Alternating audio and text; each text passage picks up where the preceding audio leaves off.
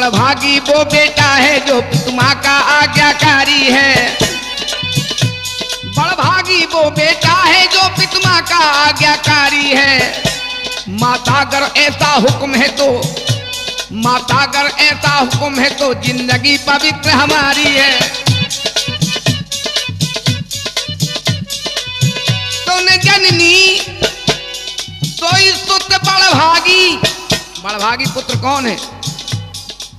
जो पितुमात चरण अनुरागी। तनय मात पितु तो सनिहारा, दुर्लभ जननी, सकल संसारा।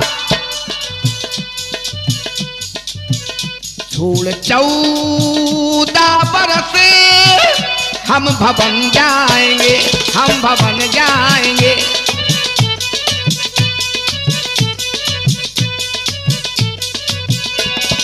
चौदह बरस हम भवन जाएँगे। छोड़ चौदह बरस हम भवन जाएँगे। अरे होगा बन में गबन तो बन में बन जाएँगे, बन में बन जाएँगे।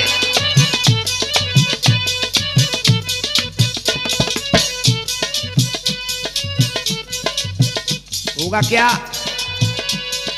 वन में जाने में राम को चार लाभ प्राप्त होंगे। मुनिगण मिलन विशेष बन, सबई भात हित मोर। मुनियों से मिलन होगा। सभी प्रकार से मेरा हित चारों दिशाओं में तेही में पितु आयस बहुर सम्मत जननी तोर।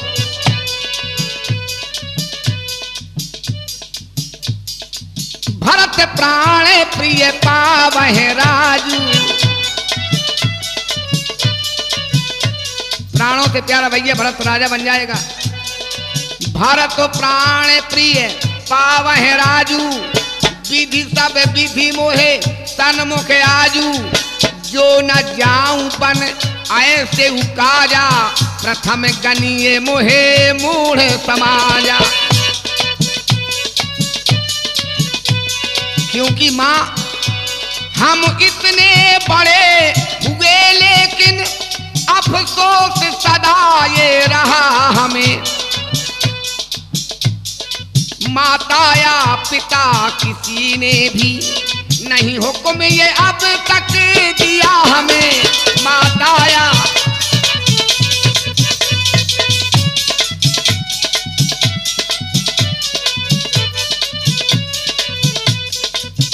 बन जाने के लिए हमारा मन करता था। क्यों करता था? इसलिए हम बहुत विचारा करते थे कि थोड़ा सा समय बनों में दे। क्यों? फिर देखेंगे कि दुख क्या है। फिर देखेंगे कि दुख क्या है। जीवन जब दुखी जनों में दे, फिर देखें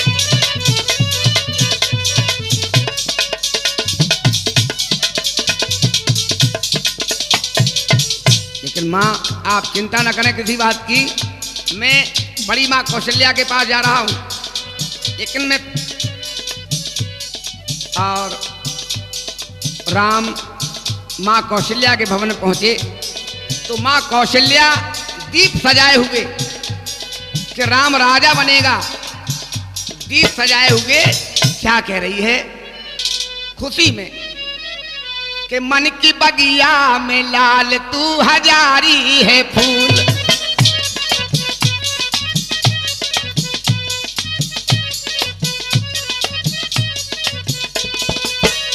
तू हजारी है फूल, तू गुलाबी है फूल। अरे तू हजारी है फूल, तू गुलाबी है फूल। मन की मन की बगिया में लाल तू हजारी है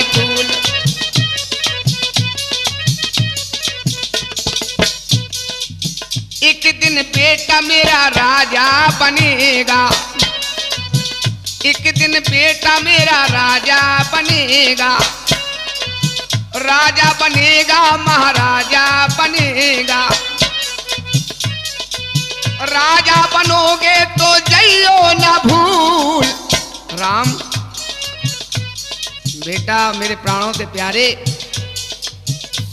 सवेरा तुम, सवेरे तुम्हारा राज तिलक होना है। राजा बनोगे तो जइयो ना भूल, मन की बगिया का लाल तू हजारी फूल।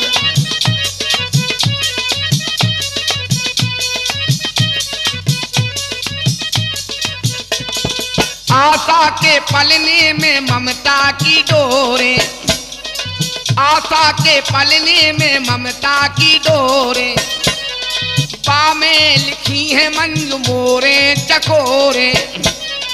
बा में बनी है मंजू मोरे, चकोरे।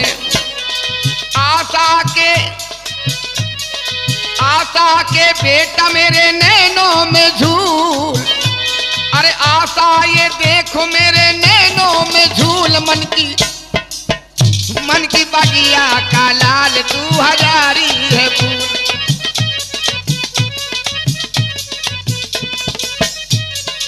राम ने कहा, माँ ऐसा कभी हो नहीं सकता जीवन में माँ, कि ये लाल आपको भूल जाए।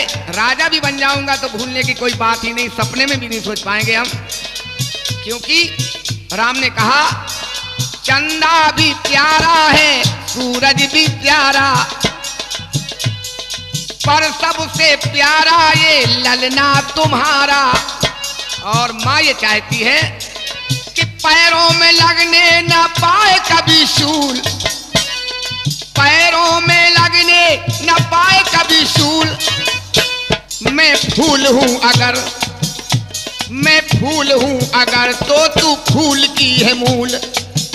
फूल अगर राम है तो फूल की मूल, यानी जड़। जड़ माँ कौशल्या है। जड़ रूपी माँ कौशल्या न होती तो राम रूपी फूल पैदा ही न होता। अरे मन की बागिया का लाल तू हजारी है फूल।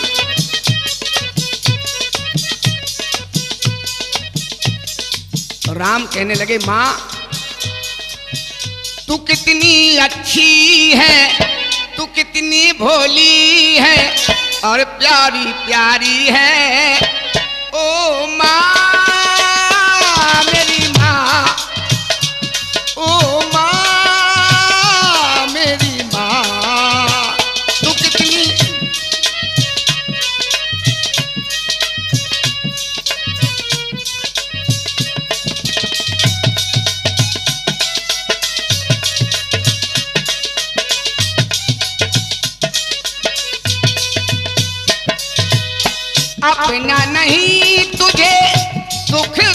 कोई।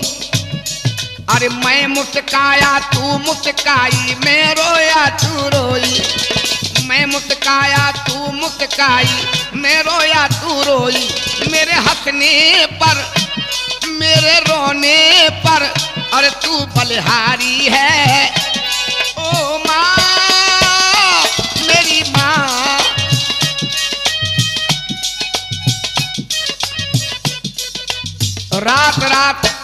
रात रात जाग कर तूने अपनी आँखों को खराब कर लिया, माँ। दुखने लगी है। माँ, तोरी अखियाँ। अखियाँ दुखने क्यों लगी? पुत्र के लिए जागी है तू।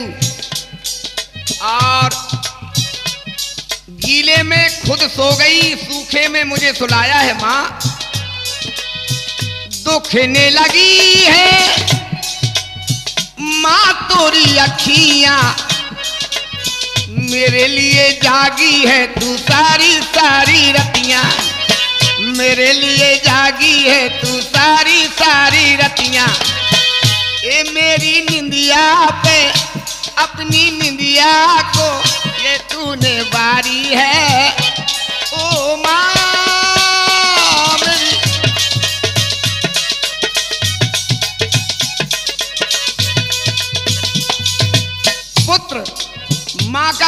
चुका नहीं सकता है जीवन में। एक जन्म नहीं, हज़ार जन्म ले ले। क्यों? माँ बच्चों की अरे जान होती है। और माँ बच्चों की जान होती है। वो होते हैं किस्मत वाले जिनके माँ होती है। वो होते हैं किस्मत वाले जिनके माँ होती है। ये जो दुनिया है बन है कांटों का और माँ फुलवारी है। ओ माँ, मेरी माँ।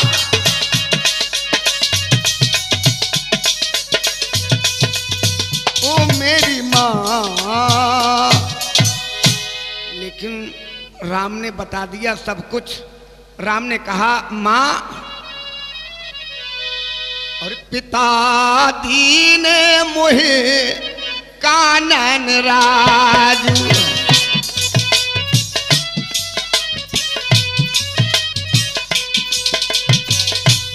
राजू, पिता दीने मोहे कानन राजू। पिताजी ने मुझे कानन का राज दे दिया माँ। और पिताजी ने मुहे कानन राजू। जो सब भात मोर बड़ काजू।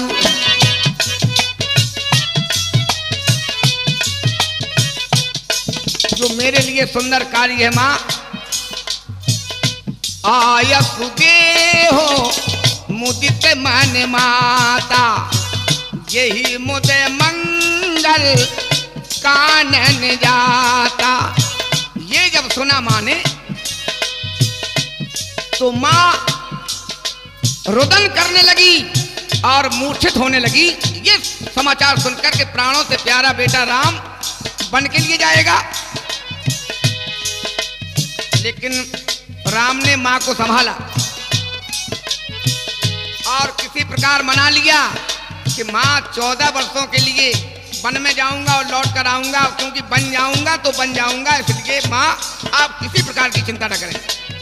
जानकी ने जब सुना कि स्वामी बन जाने के लिए तैयार हैं तो माँ कौशल्या के पास आ गई सीता। हाथ जोड़कर कहने लगी,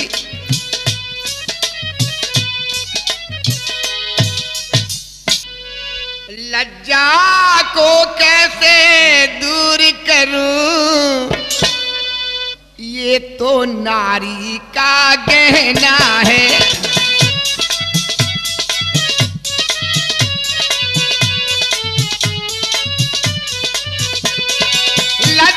को कैसे दूर करूँ? माँ। ये तो नारी का गहना है। आप कह रही हैं कि लज्जा को दूर करके कहो बेटी। कैसे दूर करूँ लज्जा को माँ? पर माता आज्ञा देती हो। पर माता आज्ञा देती हो। तो कहती हूँ जो कहना है।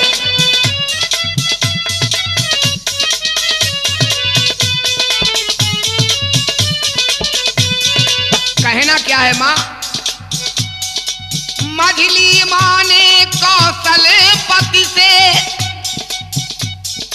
वरदान ले लिए दो चुनकर।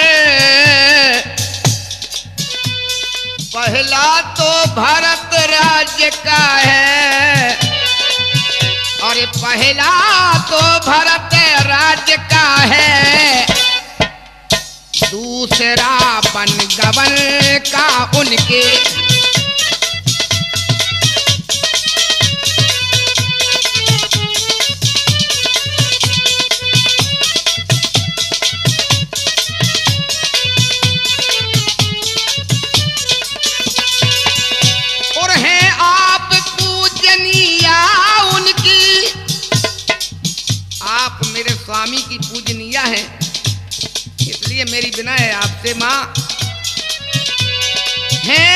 आप पूजनीया उनकी।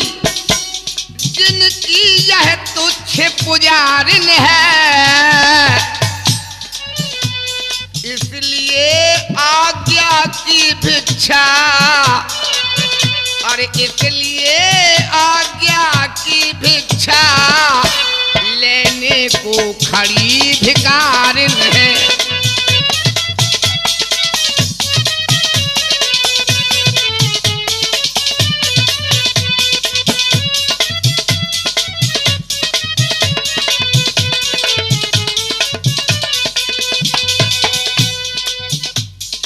माँ कौशल्या ने जब ये सुना कि जानकी ये कह रही है साथ चलने के लिए,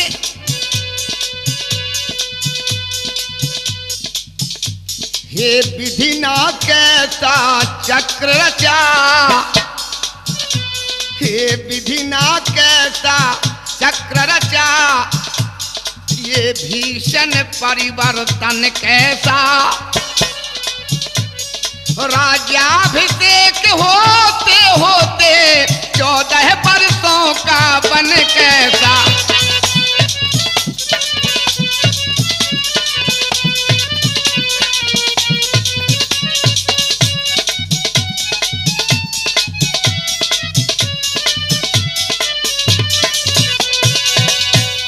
तू मुझसे पूछ रही बेटी, अरे तू मुझसे पूछ रही बेटी, मैं बन जाऊँ या रहूँ यहाँ? मैं तुझसे पूछ रही बेटी, मैं प्राण तजूं या जीऊं यहाँ?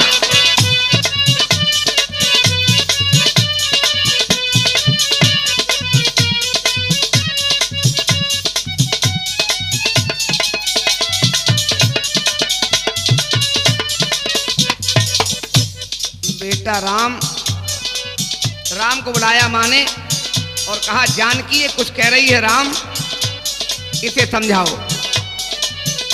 तो राम जी ने देखा कि जानकी के नेत्रों से अश्रु झर रहे हैं। कहने लगे, राम जी,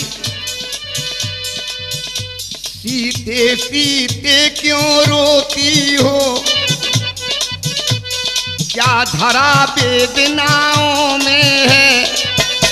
सुख दुख है एक समान, उन्हें बलगिन की आत्माओं में है।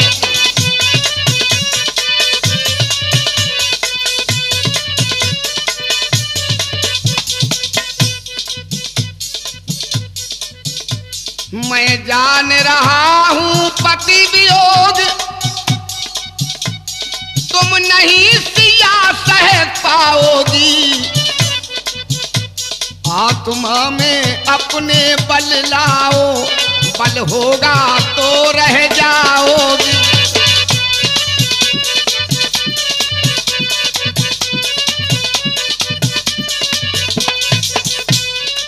लेकिन राम जी ने कहा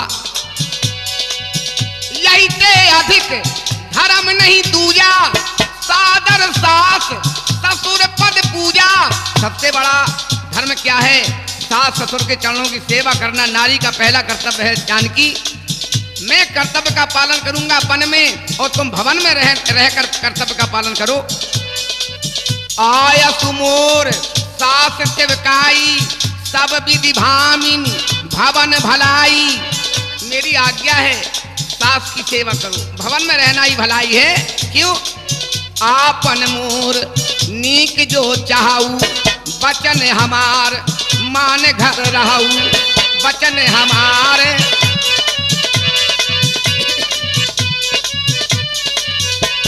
मेरे बचनों को मानकर घर पर रहो जानकी। लेकिन जानकी ने कहा प्राणात एक पल के लिए मैं नहीं जी पाऊँगी आपके बिना। आपके बिना मैं नहीं रह पाऊँगी एक पल के लिए। तो राम जी बोले, क्या बोले? आए कमल के कुसुम, कैसी कोमल कली। आए कमल के कुसुम, कैसी कोमल कली। करीलों में कब काली कोयल पली।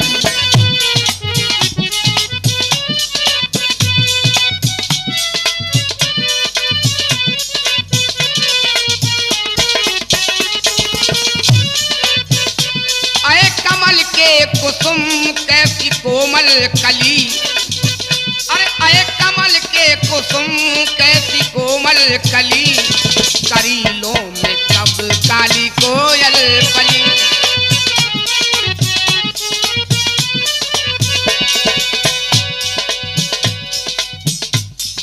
पलंग से नहीं पाँव के दिया।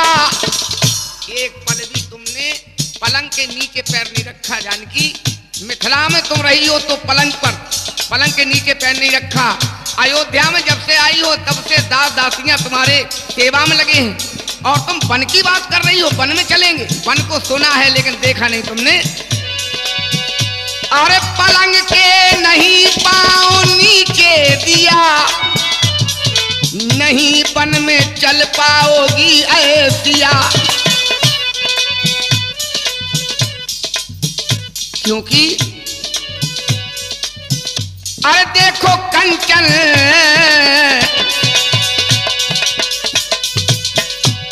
कामनी देखो कंचन भवन में भली। अरे कामनी और लाज बनती हो कंचन भवन में भली। करीलों में कबो काली कोयल पली।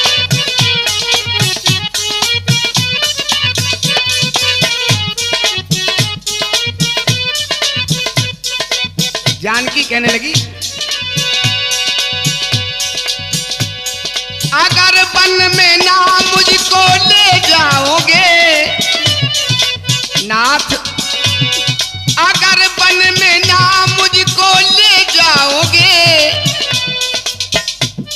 नहीं ज़िंदा मुझको यहाँ पाओगे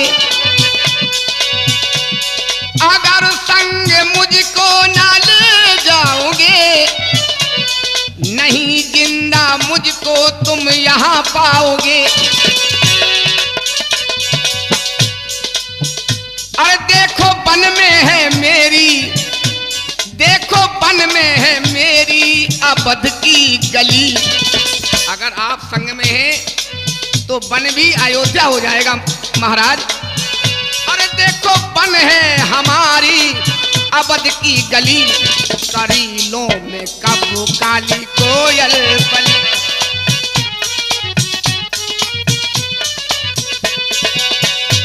राम जी। माता पिता की तुम सेवा करो। माता पिता की तुम सेवा करो। धीरज सिया चौदह बरस को धरो। क्योंकि मत बिकल हो सुनो ऐ जनक की लली। हो सुनो ऐ जनक की लली करीलों में कब काली कोयल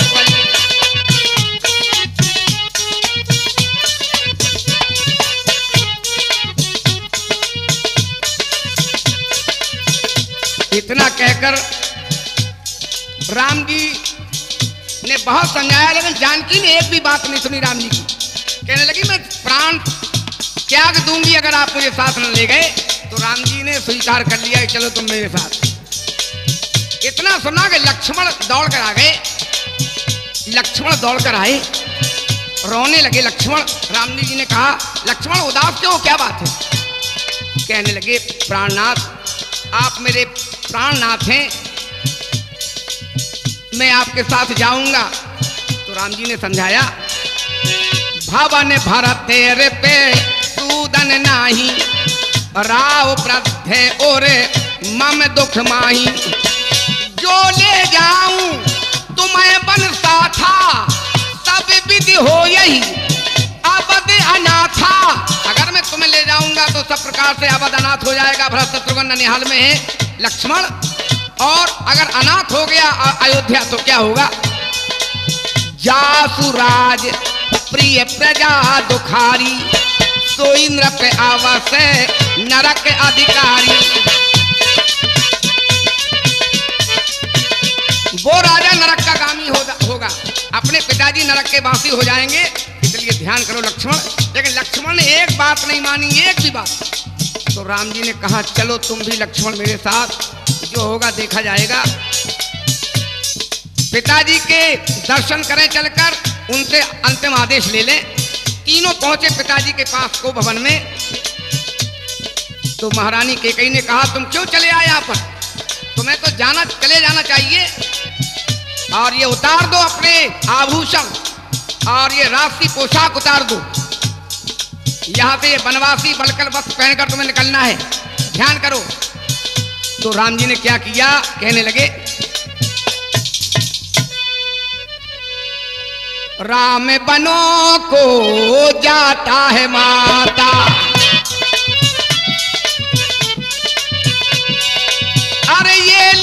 अपने उतारने लगे अपने वस्त्रों को। ताज उतारने लगे। अरे ये ले लो अपने। किरीट और कुंडल। अरे शीसे जटाए रखाता है माता। राम बनो को जाता है माता। और ये ले लो अपने वस्त्र आभूषण ले लो ये अपने वस्त्र आभूषण माँ। ये ले लो अपने वस्त्र आभूषण अंग भभूति रमाता है माता, अंग भभूति।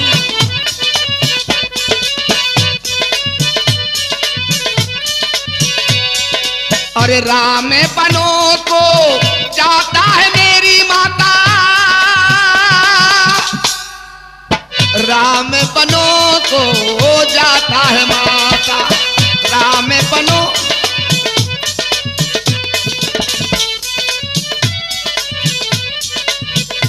और बस उतार दिए, आभूषण उतार दिए। तीनों चले। अयोध्या के बाहर निकले, कहने लगे क्या कहने लगे? प्रिय बंधुओं कि हमको मिला वनवास, हम वनवासी हो गए। और छोड़ चले रनिवास, हम वनवासी हो गए। अरे हमको मिला वनवास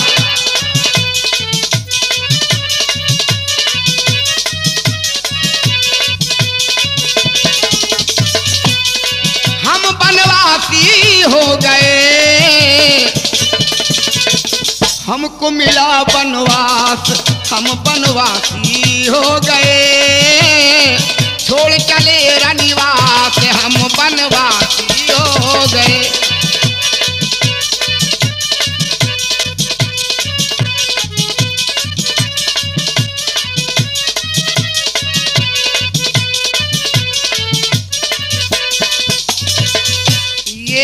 गलियाँ, ये गलियाँ और पन घट चौबारे लगते हैं मुझको, कितने ये प्यारे। छोड़ चले हैं हम तो देखो ये सरयू के किनारे। और छोड़ चले हैं हम तो देखो ये सरयू के किनारे। मानो मेरा विश्वास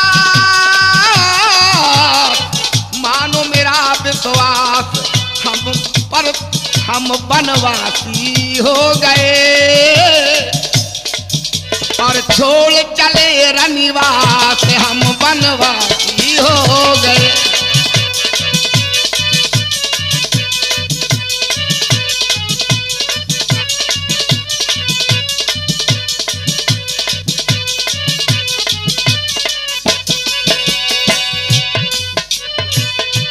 मत तुम विकल होना।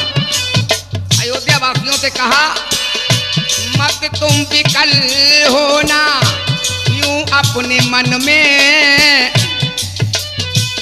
चौदह बरस को बन जाएँगे बन जाएँगे तो बन जाएँगे। अरे बन जाएँगे तो बन जाएँगे, लौट के फिर आएँगे। क्योंकि मानो मेरा विश्वास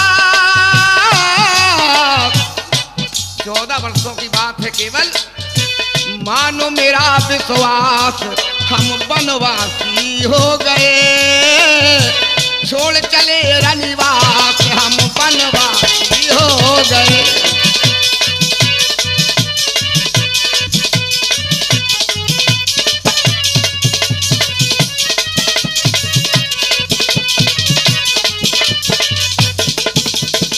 क्या बोले? ये प्रसंग आप यहीं तक सुने।